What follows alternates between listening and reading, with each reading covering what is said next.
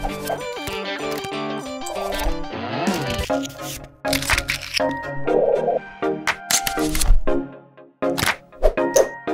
이번 임시회에서도 조례 14건 중 의원 발의 조례가 11건이나 됩니다. 오늘은 그중에서 신규 조례를 발의하신 연철음 의원님과 전원표 의원님 모시고 말씀 나눠보도록 하겠습니다. 안녕하세요. 안녕하세요. 네, 먼저 전원표 의원님께 질문을 드리겠습니다. 의원님께서는 전반기 행정문화위원장을 맡으셨잖아요. 그때에도 도민분들을 위해서 열심히 일하셨던 것으로 기억이 났는데요.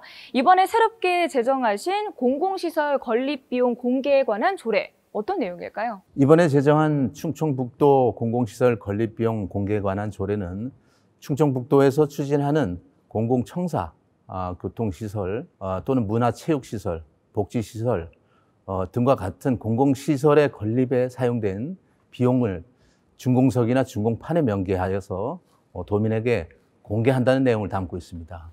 네, 말 그대로 도민들에게 모두 알린다, 공개한다는 내용이 담긴 것 같은데요. 그렇다면 어떤 계기에서 이 조례의 필요성을 느끼신 건지, 어떤 점에서 출발을 하시게 된 건지도 궁금하네요.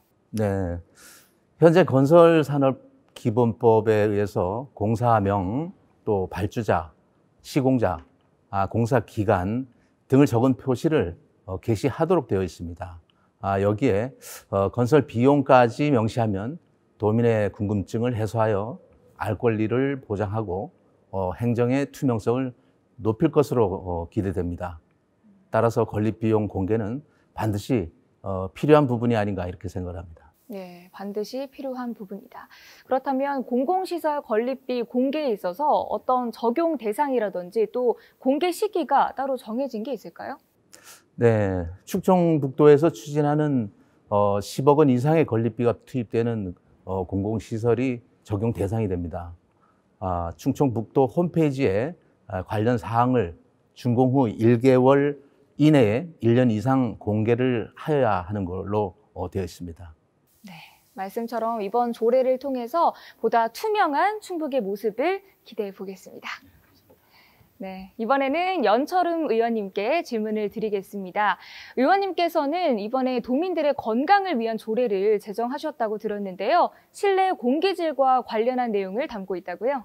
네, 그 이번에 제정한 어, 다중 이용 시설 등의 실내 공기질 관리 조례는 충북 도민의 건강을 보호하고 환경상의 위해를 예방하기 위하여 실내 공기질 관리법보다 강화된 기준으로 규정하여 다중이용시설 등의 실내 공기 질을 보다 쾌적하게 관리하는 데 목적이 있습니다. 네, 맞습니다. 코로나19로 인해서 정말 그 어느 때보다 쾌적한 실내 공기를 유지하는 것이 중요해졌잖아요. 방금 말씀하신 것처럼 그 중에서도 다중이용시설별 어떤 실내 공기를 유지하는 기준을 굉장히 깐깐하게 명시하셨다고 들었습니다. 어떤 내용일까요? 네. 실내 공기질 관리법 제5조에 의해서 미세먼지, 이산화탄소 등에 대한 실내 공기질 유지 기준을 규정하고 있습니다. 이번에 제정한 조례는 우리 도의 지역 실정에 맞게 대상별, 장소별, 실내 밀집도 등을 고려해서 어, 이산화탄소를 900ppm, 일산화탄소를 9ppm으로 법보다도 강하게 유지 기준을 정하여 충북 도민이 쾌적한 환경 속에서 생활을 할 수 있도록 어, 하였습니다. 네, 아직까지는 어, 섣불리 들어가기가 조금 조심스러운 다중이용 시설이지만 이번 조례를 통해서 말씀하신 것처럼 이 쾌적한 공간에서 우리 도민들이 좀 마음 놓고 활동할 수 있는 그런 날을 기대해봐도 좋겠죠? 네, 어, 강화된 실내 공기질 유지를 통해 환경상의 위해를 예방하여 다중이용 시설 등을 이용하는 도민의 건강을 보호할 것으로 기대를 하고 있습니다. 네, 이렇게 연철음 의원님의 말씀까지 들어봤습니다. 오늘 두 분 말씀 감사합니다. 네, 고맙습니다.